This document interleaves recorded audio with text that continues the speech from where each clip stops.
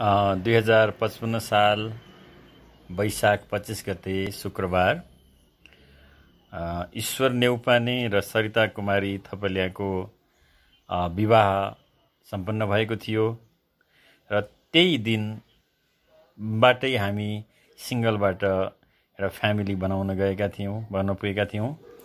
र यो पावन दिनलाई सम्झँदै अब एउटा एनिभर्सरी विवाह उत्सवको दिनमा एउटा भनौँ दुई तिनवटा गीत चाहिँ म डेडिकेट गरेर गाउन चाहन्छु।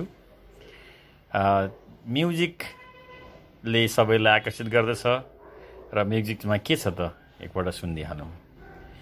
आने से उसके आए बहार जाने से उसके जाए बहार बड़ी मस्तानी है। मेरी महबूबा, मेरी जिंदगानी है। मेरी महबूबा, आने से उसके आए बहार, जाने से उसके जाए बहार, बड़ी मतवानी है। मेरी महबूबा, मौजों की रवानी है। मेरी महबूबा, मेरी जिंदगानी है। मेरी महबूबा। यो डेडिकेसन मेरो लभली वाइफ सरिता कुमारी थपलिया नेउपानेलाई त्यस्तै अर्को माही से मिया मिला से ना किल से। माही से मीना से न साकी से, न पल माने से। दिल बहलता है मेरा आपके आ जाने से, आपके आ जाने से, आपके आ जाने से। आपके आ जाने से, आपके आ जाने से दिल बहलता है मेरा, आपके आ जाने से। गुल से गुच्छों से न बुलबुल के, गुल से गुच्छों से न बुलबुल के गुनगुनाने से। दिल बहलता है मेरा आपके आ जाने से, आपके आ जाने से, आपके आ जाने से, आपके आ जाने से, आपके आ जाने से दिल बहलता है मेरा आपके आ जाने से। अन्तिममा एक प्यार का नगमा है, मौजों की रवानी है।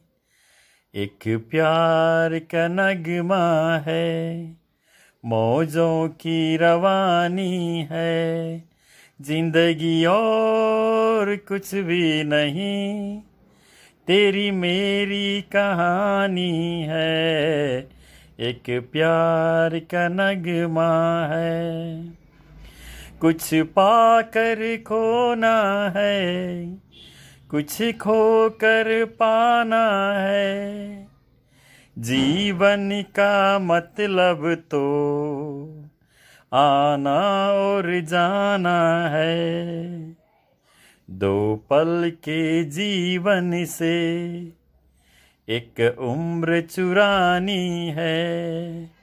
ज़िंदगी और कुछ भी नहीं। तेरी मेरी कहानी है। एक प्यार का नगमा है।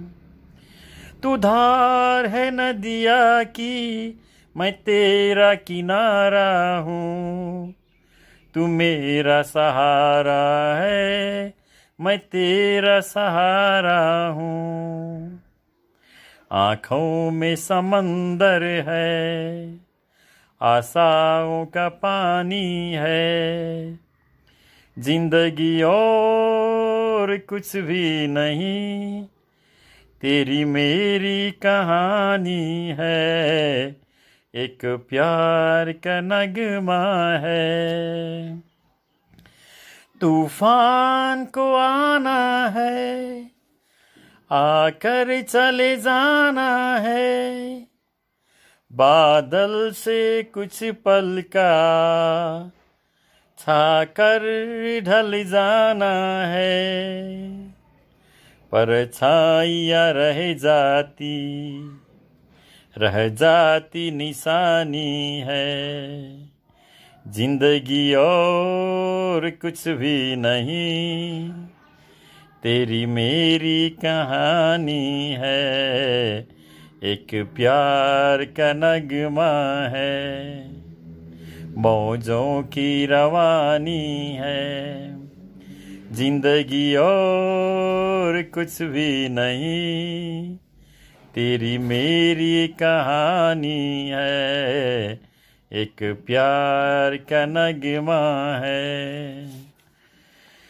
वास्तवमा यो एनिभर्सरी मनाउने पनि एकदम रमाइलो क्षण हो। र कसरी बनाउँछ त्यसलाई चाहिँ अझ मिठासपूर्ण बनाउन सकिन्छ कसरी यादगार बनाउन सकिन्छ त्यो कपालमा भर पर्ने कुरा हो। एकदम खुसी साथ उमङ्ग साथ यसलाई मनायो भने लास्ट लास्टसम्म पनि हामीलाई याद आइरहन्छ। किन?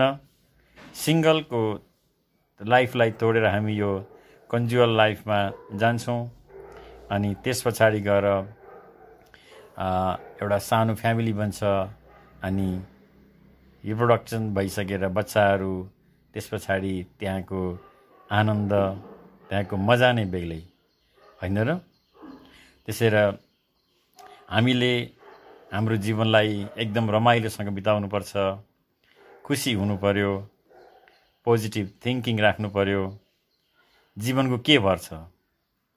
जति बाँच्छौँ एकदम खुसी साथ बाँच्ने रमाइलोसँग बाँच्ने। र घरमा शान्ति छ स्नेह छ ममता छ भने त्यो घर स्वर्ग हो। स्वर्ग खोज्न कहीँ जानै पर्दैन। घरमा झगडा छ एक आपसमा वैमस्यता छ विश्वासको वातावरण छैन भनेपछि नर्क खोज्न कहीँ पनि जानु पर्दैन। त्यसैले स्वर्ग नर्क यहीँ नै छ र हामीले स्वर्गीय आनन्द लिने रमाइलो गर्ने र मजाले बाँच्ने।